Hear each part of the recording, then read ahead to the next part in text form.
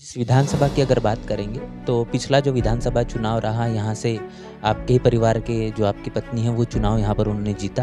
उसके बाद में एक चर्चा का विषय बना, लगातार सोशल मीडिया मेन स्ट्रीम की मीडिया पर आपकी तमाम तस्वीरें वायरल हुई कि आप घर को छोड़कर जिस तरीके से आप अपना जीवन अभी इस चुनावी दौरान में बिता रहे अब वो नहीं समझ पाए, अनुभव रहे कांग्रेस ने कमज़ोर करने की कोशिश की हमको। उनको कांग्रेस में ले लिया। हमने उनको मना किया था कि कांग्रेस पार्टी मत जाओ। उस वक्त मना किया था। अखबारों में स्टेटमेंट भी उस समय हमारा कोई सहमति नहीं है। इसमें जा कांग्रेस में जा रही तो कारण रहा सर क्यों मना किया था? मना इसलिए किया था कि कांग्रेस की विचारधारा से हम अलग हैं। कांग्रेस के लोग जो कहते हैं वो करते नहीं। और कई बार उनका चेहरा जो है बेनकाब हो चुका है। कई बार। और भाई कहाँ लड़ते हैं लोगों की लड़ाई कांग्रेस पार्टी? साथ जय भीम, मैं हूँ पराग महेंद्र, आप देख रहे हैं नेशनल चौपाल। जिस तरीके से 19 तारीख का इंतज़ार तमाम राजनीतिक पार्टियों के प्रत्याशियों को है कि आखिर 19 तारीख को जो लगातार एक लंबे समय से लोकसभा चुनाव को लेकर वोटों की अपील करते हुए जो प्रत्याशी नज़र आ रहे हैं, ऐसे में अब इंतज़ार है कि क्या कुछ होगा। लेकिन ऐसे में ये देखा जा रहा है कि राजनीतिक पार्टियों के ज़रिए जो चुनावी दावेदारी पेश की जा रही है ऐसे में अब कई ऐसी लोकसभा सीटें हैं जहाँ पर बसपा एक त्रिकोणीय मुकाबले के तौर पर देखी जा रही है। हमारे साथ में बहुजन समाज पार्टी के प्रत्याशी है बालाघाट और शिवनी लोकसभा क्षेत्र से कंकर मुजारे जी। सांसद रह चुके हैं, एक लंबे समय से एक राजनीतिक करियर इनके साथ में जुड़ा हुआ है। काफ़ी कुछ चर्चाएँ चल रही है और इन तमाम चीज़ों को लेकर हम बातचीत करने की कोशिश करेंगे कि आखिर इस चुनाव को किस नज़रिए से किस तरीके से वो अब मैदान में देख रहे हैं और अब लोगों के बीच में जाकर क्या कुछ अभी प्रतिक्रिया है? सर लंबे समय से एक चुनाव का प्रचार चल रहा है शुरू हो चुका है उन्नीस तारीख नज़दीक है लोगों के बीच में जाने जाने के बाद में क्या कुछ उनका प्रतिशत मिल पा रहा है आपको? देखिए बहुत समर्थन मिल रहा है जनता का मतदाताओं का। लोगों का साफ़ कहना है कि हम इस बार बदलाव करेंगे। लगभग तीस साल से भारतीय जनता पार्टी यहाँ हम्म। चुनाव जीत रही है। छः इलेक्शन जीत चुकी है लोकसभा का हम्म। बालाघाट में।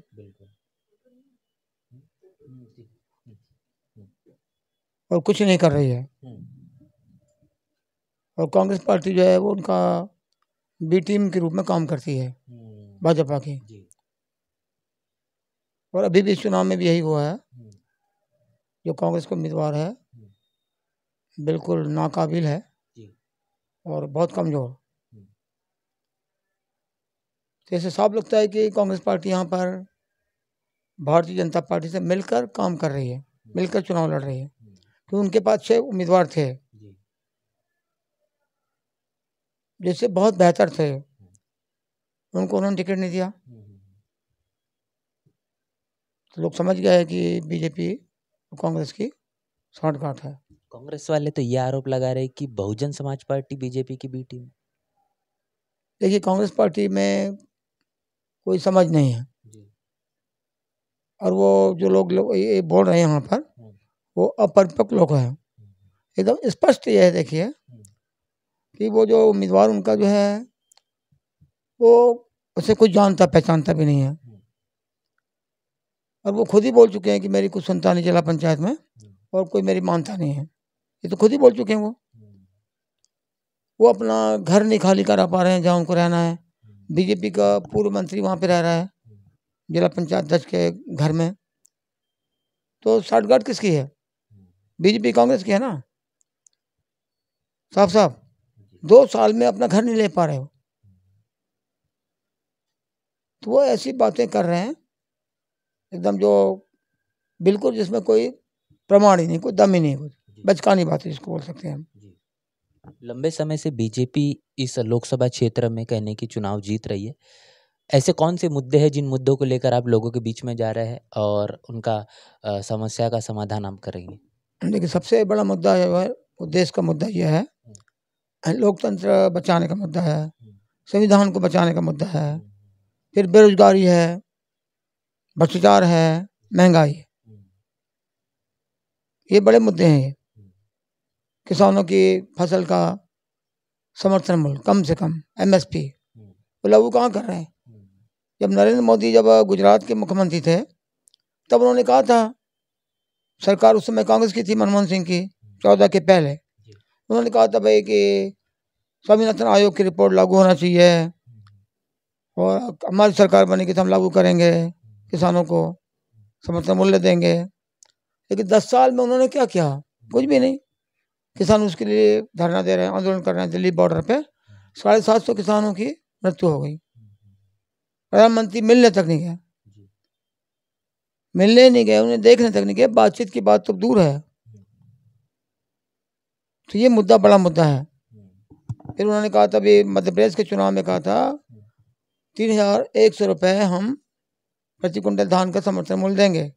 गेहूँ का देंगे? सत्ताईस रुपये और गैस की जो टंकी है उसको हम साढ़े चार सौ रुपये में देंगे। चार महीने निकल के सरकार बनने के बाद उनके घोषणा पत्र में है? वचन पत्र में है और उसको नहीं कर पा रहे तो ये बड़े मुद्दे हैं। जनता में हमने इसको लेके गए हैं। और कांग्रेस भी खामोश है इस पर। कांग्रेस फिर जनता में जाके बोल रही कि ये किया था तो ये नहीं किया। ये नहीं अरे तो आपने विधानसभा में क्या किया इसके लिए? कांग्रेस पार्टी बाहर बोल रहे हैं आप बस। तो आपके तिरसठ एम हैं।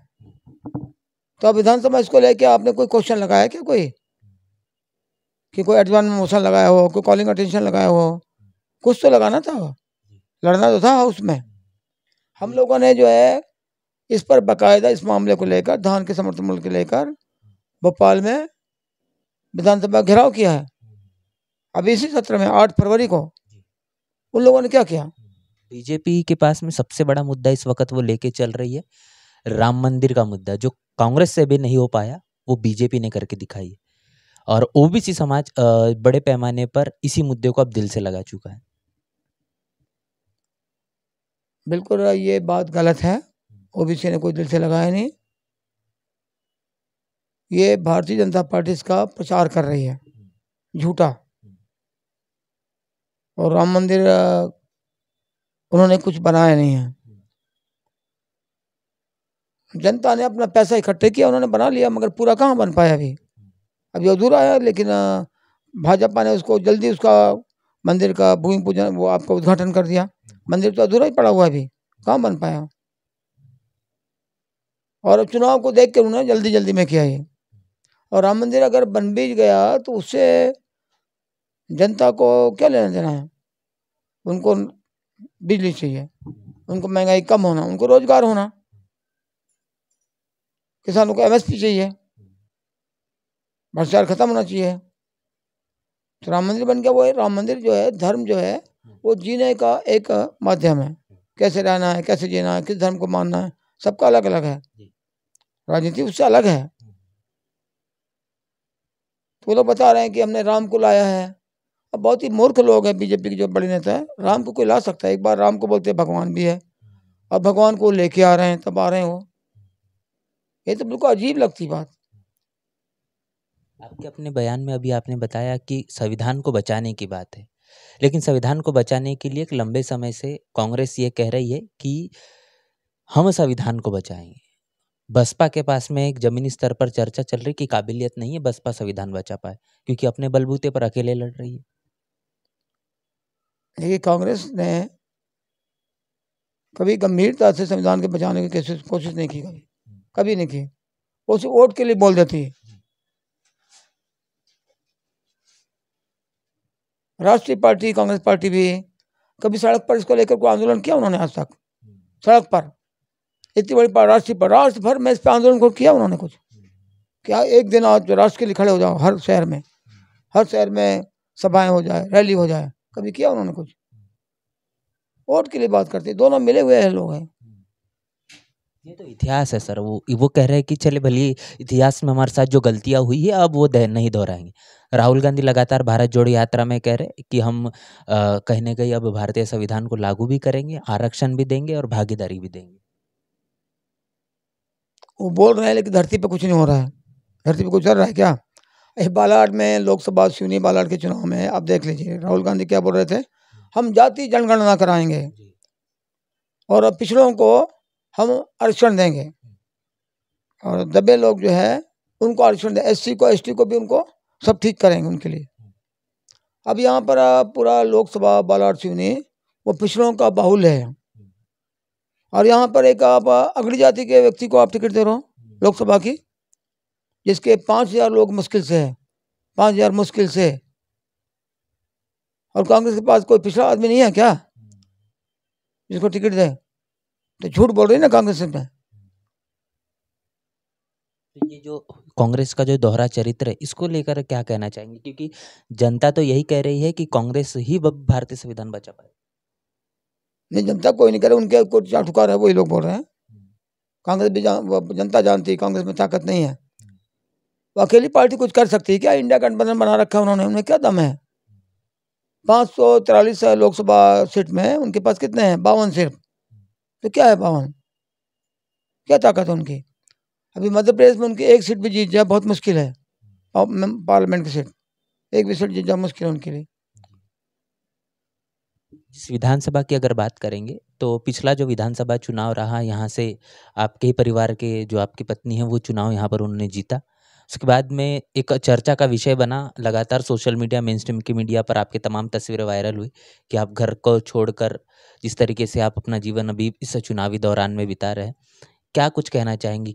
क्यों ये चीज़ें संभव हो पाई और किस तरीके से आप ये पूरे के पूरी चीज़ों को आपने हैंडल किया? देखिए कांग्रेस ज़रूर जीती है वो चुनाव। लेकिन कांग्रेस का उसमें कुछ नहीं है। सारा हमारा उसमें मेहनत है। जो हमें अभी तक संघर्ष करते रहे, लड़ते रहे हैं। और वहाँ हमने आंदोलन से वहाँ ताकत बनाई। अब वो नहीं समझ पाए अनुभव रहे कांग्रेस ने कमज़ोर करने की कोशिश की हमको। उनको कांग्रेस में ले लिया। हमने उनको मना किया था कि कांग्रेस पार्टी मत जाओ आप।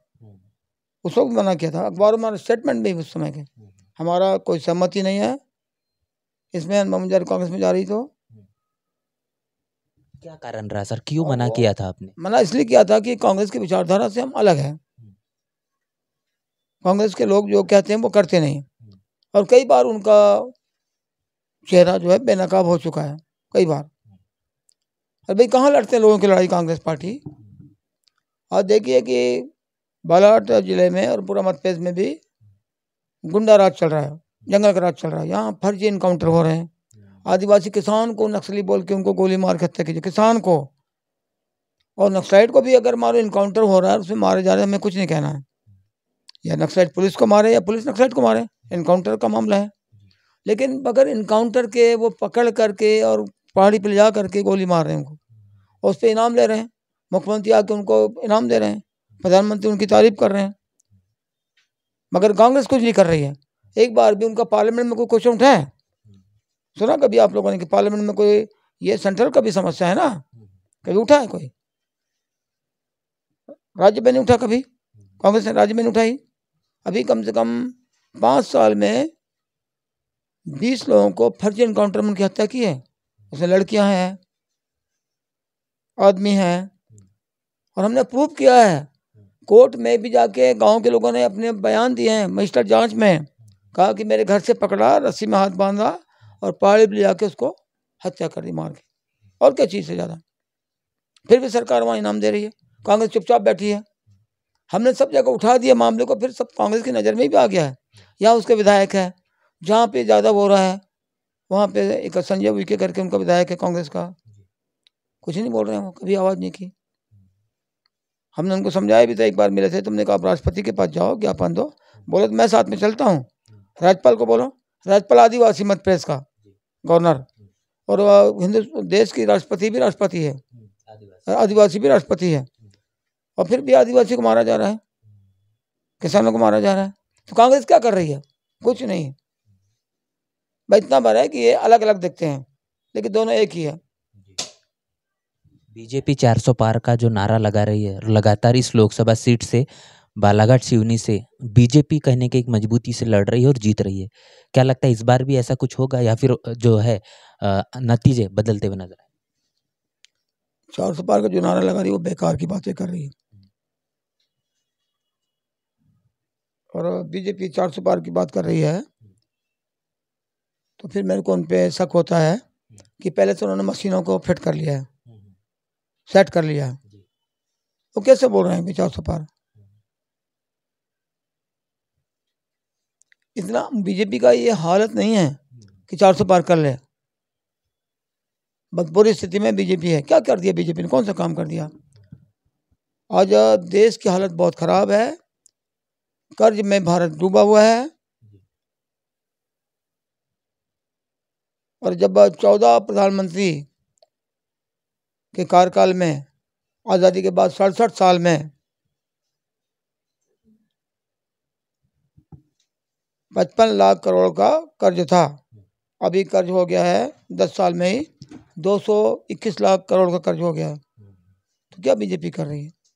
ट्रेन बेच रही है, स्टेशन बेच रही है, हवाई अड्डे बेच रही है, हवाई जहाज़ बेच रही है, सरकारी संपत्ति को बेच रही है, लाल किला को भी बेच दिया एक तरह से। फिर बच्चा का झंडा फहरा रहा उसको भी बेच दिया आपने। क्या बचा है? जो पूंजीपति लोग हैं, व्यापारी लोग हैं, उनका साढ़े चौदह लाख करोड़ का कर्ज माफ़ कर रहे हैं आप। और जो हमारे किसान है जो देश को पालता है जो सबसे ताकत देता है देश को उसको एक रुपये कर्जा माफ़ नहीं कर रहे आप। युवा बेरोजगार है उसका कर्जा माफ़ नहीं करते आप। गरीब का कर्जा माफ़ नहीं करते पूंजीपति का कर्जा माफ़ करते आप। अस्सी करोड़ जो राशन देने की भी बात कर रही है बीजेपी। बीजेपी देखिए बीजेपी को कोई समझदारी नहीं है कोई अकल नहीं है। कुछ भी नहीं जानते वो। जबरन बैठे हुए राम के नाम पर, धर्म के नाम पर बेवकूफ़ बना के लोगों को। देखो, अस्सी करोड़ लोगों को खुद ही वो बोल रहे हैं। एक तरफ़ ये बोलते हैं कि बहुत हमने काम अच्छा किया है और देश को बहुत आगे ले जा रहे हैं हम, विकास की ओर बढ़ रहे हैं हम, तमाम बातें कर रहे हैं। अभी आपको मालूम है ना, खुशहाली के मामले में भारत दुनिया में नीचे से नीचे से दूसरे नंबर पर है। नीचे से दूसरे नंबर, सबसे नीचे में कौन? है अफ़गानिस्तान। है ना? उसके बाद भारत उसके बाद सब देश आगे आगे बढ़े हैं। सबसे नीचे में भारत खुशहाली के मामले में। क्या कर रहे हैं? और अस्सी करोड़ की जो बात कर रहे हैं इसका मतलब बीजेपी खुद एक सौ चालीस करोड़ की जनसंख्या भारत की है। अब अस्सी करोड़ लोग उसमें भूखे हैं गरीब हैं। उनके पास खाने के लिए राशन नहीं है। पाँच किलो राशन दे रहे हैं महीने भर के लिए। हालत कितने बदतर है देश के। प्रधानमंत्री को एक मिनट भी कुर्सी पे बैठने का अधिकार नहीं है। एक मिनट भी। वो खुद ही बोल रहे हैं इस बात को। और कुर्सी पर बैठे हुए उनको शर्म आना चाहिए। क्यों बैठे कुर्सी पर आप? जब देश का नागरिक जो है, पाँच किलो राशन में महीने पर काम कर रहा है और प्रधानमंत्री महीने पर अपना जीवन चलाता है और प्रधानमंत्री ग्यारह लाख का सूट पहनता है। गरीब देश भारत का है। कितने बैगे आदिवासी जो लोग हैं, उनके बदन पे कपड़े नहीं हैं, भोजन नहीं है। कपड़े नहीं पहन पाते वो। पीने का पानी उनको नहीं है। और प्रधानमंत्री ग्यारह ग्यारह लाख के कपड़े पहन रहा है। आठ हज़ार करोड़ का हवाई जहाज़ ले रहा है। और चार चार चार चार ड्रेस पहन रहे हैं, बदल रहे हैं दिन भर में। शर्म आती है उनको जरा भी। किस देश के प्रधानमंत्री हो? उनकी हालत तो देखो आप पहले। अगर जिस तरीके से आपकी जो दावेदारी इस लोकसभा क्षेत्र में देखी जा रही है, इसी आधार पर अगर अनुमानों के अनुसार या फिर कहे नतीजों के आधार पर ये सीट अगर बसपा के खाते में आ जाती, आप अगर इस सीट को जीत जाते हैं तो जनता के लिए क्या कुछ आपके तरफ़ से होगा? क्या कुछ आप करेंगे? इस चीज़ को जब जीतेंगे ज़रूर और जीतने के बाद हम यहाँ जनता के लिए। या उद्योग की बात करेंगे बाँस पर आधारित। और छोटे छोटे और भी जो उद्योग लग सकते हैं जहाँ रोज़गार मिले उसके लिए काम करेंगे हम। और किसानों के लिए लड़ाई लड़ेंगे एमएसपी को लेकर के।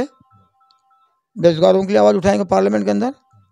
और बालाघाट के अंदर जो स्थिति है उसको बदलेंगे कि यहाँ कानून का राज चले। यहाँ इस तरह का जंगल राज नहीं चले। यहाँ रिश्वतखोरी भी बहुत है कमीशन खोरी बहुत है इसको भी ख़त्म करेंगे हम। हमने कह दिया है कि सरकार चाहे जो भी बने जिसकी भी। अगर हम चुन के गए बसपा के हाथी के ऊपर दिल्ली में गए हम तो सरकार समझ लीजिए कि जनता की सरकार है ये। और हम कभी नहीं बोलने वाले किसी को कि मेरी सरकार नहीं है पैसा नहीं है, मैं ये काम नहीं कर सकता। मैंने बोल दिया, मैं सब काम कर दूँगा आपका। मुझे पता है कहाँ पे लात मारना है, कहाँ से पैसे निकालना है। और फिर लात तो हाथी का है, वजनदार, ताकतवर। मुझे मालूम है। मुझे मालूम है एक बात ताकत है, मुझे पता है कौन सी नशा आपकी दबाना है। कहाँ गर्दन पकड़ना आपकी। मैंने कहा, सब काम कर दूँगा मैं, छोटा, बड़ा, सब काम, जो भी लाओगे मैं सब कर दूँगा। कहीं भी फ़र्क नहीं आएगा। रेल के मामले ने बोल दिया है कि रेल के फेरे यहाँ पर पैसेंजर रेल के फेरे बढ़ना चाहिए। मालगाड़ियाँ बहुत चल रही है, मालगाड़ियाँ नहीं होना हमको। पूंजीपतियों का काम ज़्यादा नहीं होना यहाँ पर। फ्लाई ओवर बनना चाहिए यहाँ। अभी एक कटंगी जो है बालाट ज़िले में आता है, कटंगी सिवनी तक के एक रेलगाड़ी चलनी चाहिए, ब्रॉडगेज का लाइन डलना चाहिए। ये काम हमने करने का बोल दिया कि हम इसको पाँच साल के अंदर ही कर देंगे। कोई काम करने के लिए हमको अगर लगा कि इस काम करने के लिए हमको जेल जाना पड़ेगा तो हम जेल भी जाएँगे, लेकिन उस काम को करेंगे हम। जेल जाना पड़ेगा जाएँगे। मैं काम करेंगे उसको। मुझे लगा कि नहीं, इस काम में मुझे जेल जाना पड़ेगा, जाऊँगा मैं। ये जनता से सब हमने वादा किया, खुलेआम मंचों से। सब बात साफ़ साफ़ कर दी हमने। और लोगों ने हमारी बात पर भरोसा भी किया, वो जानते हैं कि जो बोलते हैं, करते हैं। और ऐसा हम कर चुके हैं। बिल्कुल। अपनी बालाघाट और शिवनी लोकसभा क्षेत्र की तमाम मतदाताओं से अपील के तौर पर क्या कुछ कहना चाहे? मतदाताओं से मेरी विनम्र अपील है कि मुझे आप सहयोग करो। मुझे आप समर्थन दो, मुझे अपना आशीर्वाद दो। एक बार हाथी को लोकसभा में विजय बनाकर भेजो। हाथी आपकी आवाज़ उठाएगा, हाथी आपके लिए सब काम करेगा, हाथी आपका साथी है। और एक बार मौका दो आप। कहीं पर आपको धोखा नहीं होगा। जैसे मोदी ने कहा कि गारंटी दी, ये गारंटी वो गारंटी सारी गारंटी झूठी है। अब वही काम कांग्रेस बोल रही कि हम भी गारंटी दे रहे हैं। वो भी गारंटी वो भी नकल कर रहे हैं ना। कांग्रेस ने बोला कि आप, हम भी गारंटी दे रहे हैं। तो कोई अलग बात नहीं कर रही कांग्रेस पार्टी, नकल कर रही है। हमने कहा कि हम बिल्कुल वादा करते हैं हम, ये करके दिखाएँगे हम। धान का जो रेट नहीं मिला किसानों को ना इकतीस रुपये तो हमने कहा, हम सरकार के कॉलर पढ़ के आपको रेट दिलाएँगे हम। क्योंकि वादा किया ना उन्होंने। वचन है, घोषणा पत्र है, हम पकड़ के दिला देंगे उसमें। कांग्रेस ने कुछ नहीं की इस पर, मगर हम दिलाएँगे।